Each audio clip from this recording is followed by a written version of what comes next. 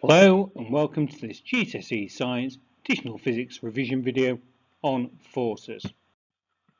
In this video we will look at resultant force, force and acceleration, falling objects and stretching. An object may have several different, several different forces acting on it which have different strengths and different directions, but they can be added together to give the resultant force. This is a single force that has the same effect on the object as all the individual forces acting together. If the resultant force is zero, a moving object will stay at the same speed. If there is no resultant force, then the system is said to be at equilibrium. If the resulting force is not zero, a moving object will speed up or slow down depending on the direction of the resulting force. It will either speed up if the resulting force is in the same direction as the moving object, or it will slow down if the resulting force is in the opposite direction. When all the forces balanced, the resultant force is zero. So a stationary object will remove stationary, and a moving object will stay moving in the same direction and at the same speed.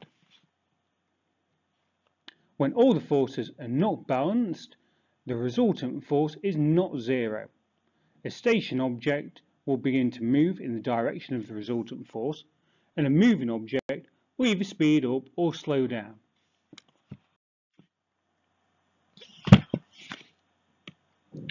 You should note that objects accelerate when resultant force is not zero, and you need to understand the factors that affect the size of acceleration. An object will accelerate in the direction of the resultant force. The bigger the force, the greater the acceleration. So doubling the size of the resultant force will double the acceleration. An object will accelerate in the direction of the resultant force a force on a large mass will accelerate it less than the same force on a smaller mass. Doubling the mass halves the acceleration.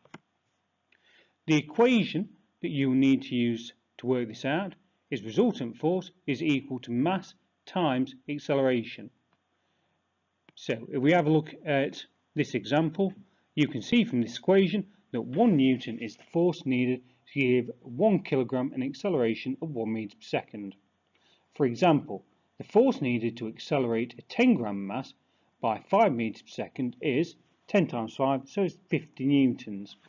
The same force would accelerate a 1 kilogram mass by 50 meters per second squared, or a 100 kilogram mass by 0.5 meters per second squared. Putting it simply, we can say that it takes more force to accelerate a larger mass. There are two main forces that affect falling objects when falling from uh, high height. Remember that this can also be referred to as it reaching terminal velocity. So the two things that will affect it are the weight of an object, that is the force acting downwards caused by the Earth's gravitational field, and air resistance. This is the force or the frictional force acting in the opposite direction. We can see from this graph that when a person first jumps out, so at the start the object accelerates downwards because of its weight. There is very little air resistance. There is a resultant force acting downwards. The acceleration is constant when the object is close to the Earth. As it gains speed, the object's weight stays the same, but the air resistance on it increases. The resultant force, or there is a force acting backwards on it now. Eventually, when the object's weight is balanced by the air resistance, there is no resultant force and the object will continue to fall at the same velocity. This is referred to as terminal velocity. Forces may change the shape of an object.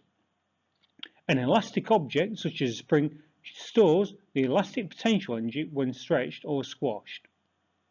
The extension of an elastic object is directly proportional to the force applied to it, which means that if, for instance, we put a force of 2 onto it, its extension would be 2 meters.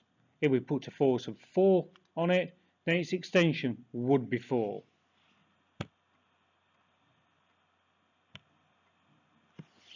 Elastic objects can also store potential energy when they're squashed.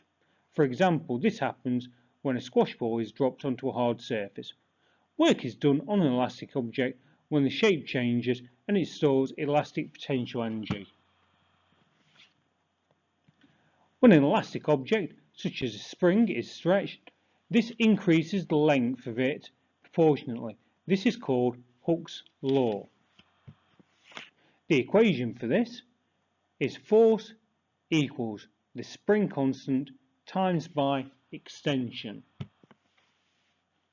The spring constant K is different for different objects and materials. It is found out by carrying out the experiment, an experiment.